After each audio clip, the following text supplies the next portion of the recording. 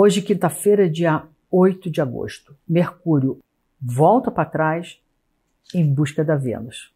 Por conta desse reencontro, podemos ter retornos, reencontros afetivos, retomada de relacionamentos, devido a uma boa conversa, dessas que a gente explica, se explica, o outro se explica, explica tudo tim-tim por tim-tim e se põe todos os pingos nos is.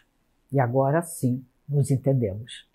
Podemos também reacertar os ponteiros nos negócios, fechar uma proposta que já vinha em análise e fechar agora porque as condições foram revistas, reapresentadas.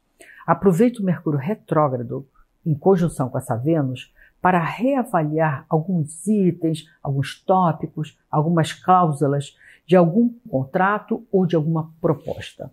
E represente uma proposta que lhe beneficie mais. Vai conseguir. Vai conseguir fechar em condições melhores. Então, analise um a um os itens de um negócio, de uma proposta, de uma negociação e você vai conseguir reverter alguns pontos que ainda não estavam se tão satisfatórios para você.